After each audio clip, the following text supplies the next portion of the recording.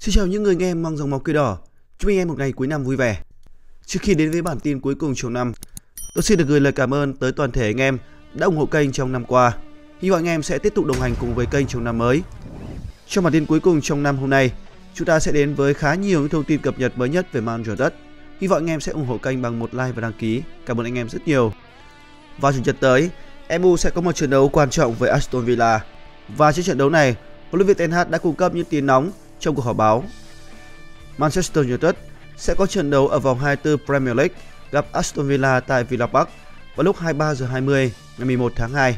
Và huấn luyện viên Erik Ten Hag đã có cuộc tiếp xúc với phóng viên trong cuộc họp báo trước trận.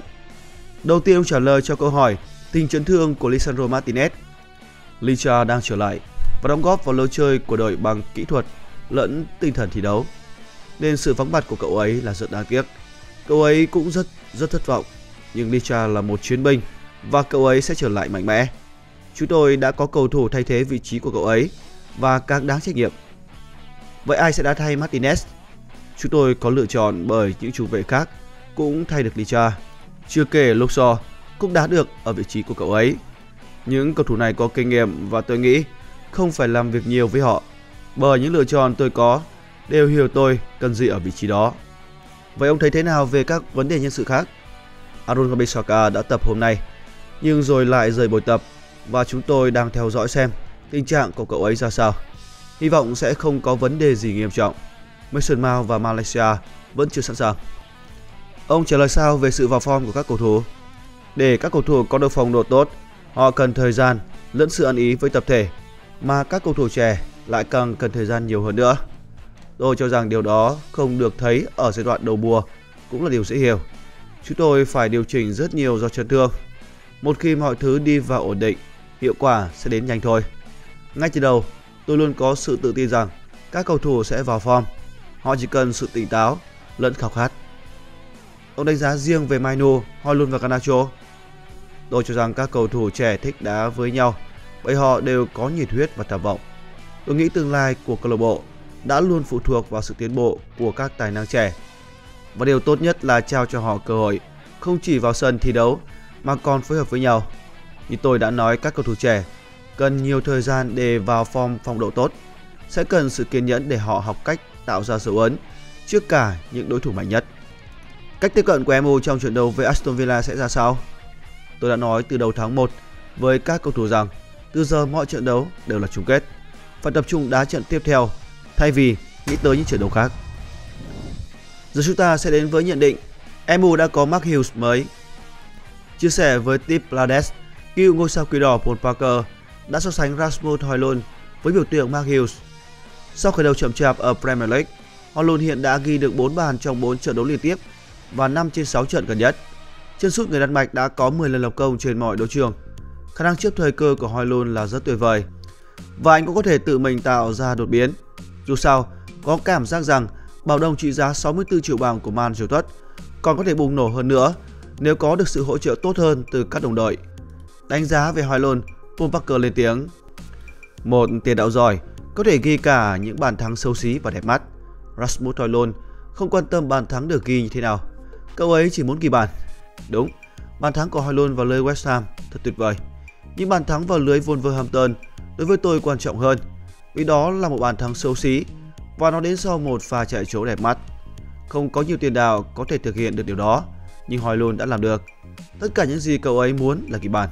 Man United chưa có tiền đạo nào như vậy kể từ Mark Hughes, và đó là rất cần thiết cho câu lạc bộ lúc này.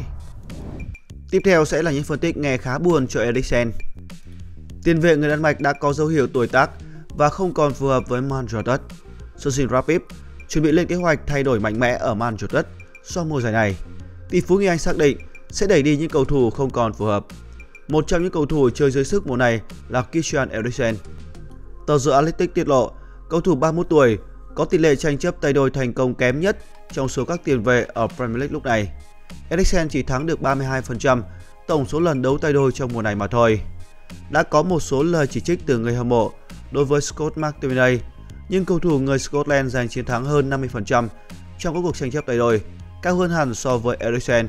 Chưa kể, McTominay còn đóng góp 6 bàn và một kiến tạo ở Premier League.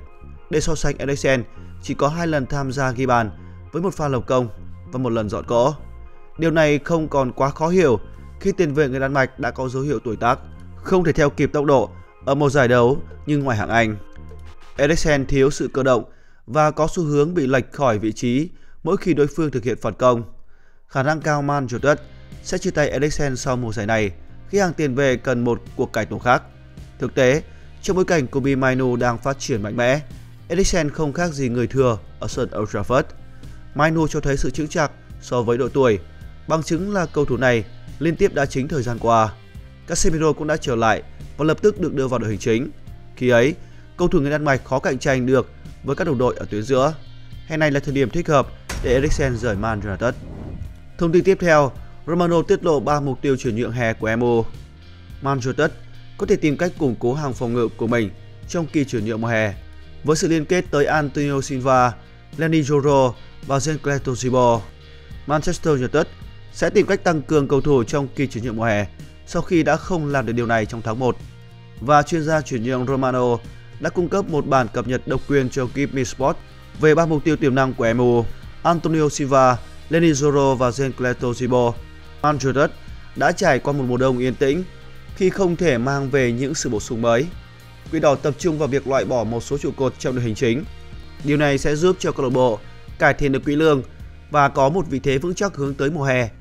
Khi một số mục tiêu dài hạn có thể dễ dàng mua bán hơn. Đã có rất nhiều ý kiến cho rằng việc giành được chữ ký của một tiền đạo mới là ưu tiên hàng đầu.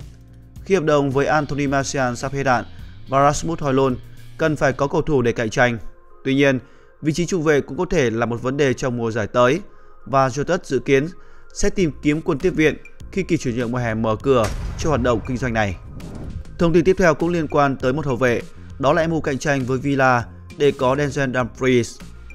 Theo FC Internews, huấn luyện viên của Man United Erik ten Hag là nhà tài trợ chính đằng sau việc câu lạc bộ quan tâm đến việc ký hợp đồng với hậu vệ phải Denzel Dumfries của Inter Milan vào mùa hè này. Dumfries đã được liên tục cho là sẽ chuyển tới sân Old Trafford kể từ khi Ten Hag lên nắm quyền và những đồn đoán có vẻ sẽ tiếp tục trước kỳ chuyển nhượng tiếp theo.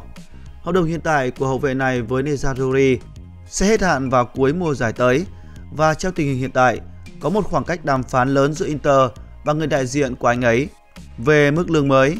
Với việc bãi bỏ nghị định tăng trưởng của Ý, đội bóng Serie sẽ không có bất kỳ khoản tiết kiệm thuế nào đối với hợp đồng mới dành cho cầu thủ nước ngoài. Điều này làm tăng thêm sự không chắc chắn về tương lai của Dumfries. Theo FC Internews, Ten Hag là một người dẫn ngưỡng mộ tuyển thủ Hà Lan và sẽ làm mọi cách cho việc ký kết này hoàn thành. Tuy nhiên, Aston Villa cũng đã nhảy vào cuộc đua với việc tìm cách liên hệ với đại diện của hậu vệ này. Đội bóng của Unai Emery đang khám phá một thỏa thuận trong mùa hè cho vệ cánh đa năng mang lại niềm vui cho Inter. Nezazuri đang hy vọng sẽ có một cuộc đấu giá giữa các câu lạc bộ để giúp cho giá trị của Denzel Dumfries tăng cao hơn nữa. Thông tin tiếp theo đó là Sir James có thể đóng vai trò quan trọng để MU có được Thuram. Theo Tuto Mercato Web, Manchester đang nhắm tới tiền vệ Kemfren Thuram của Nice trong bối cảnh có sự quan tâm từ Juventus và Inter Milan. Quỷ đỏ có khả năng sẽ tăng cường hàng tiền vệ của mình trong kỳ chuyển nhượng mùa hè với viễn cảnh Casemiro, Sofian Amrabat và Eriksen sẽ ra đi. Tuto Mercato Web cho rằng Thuram đang nằm trong tầm ngắm của bộ đôi Serie A là Juventus và Inter, nhưng Man United có thể dễ dàng vượt qua các đối thủ cạnh tranh này để đưa anh về sân Old Trafford. Sergio Rapip, người sắp nắm quyền kiểm soát các hoạt động bóng đá ở câu lạc bộ, đang nhắm đến việc đầu tư lớn vào các bản hợp đồng mùa hè và Thuram sẽ là một trong những mục tiêu quan trọng hàng đầu. Nick được cho là sẵn sàng chia tay cầu thủ người Pháp với giá 40 triệu euro. Trên đây là những thông tin nổi bật liên quan đến đội bóng ngày hôm nay. Để cập nhật sớm nhất tình hình của đội bóng thân yêu, mời anh em hãy like, share và đăng ký kênh. Xin trân trọng cảm ơn.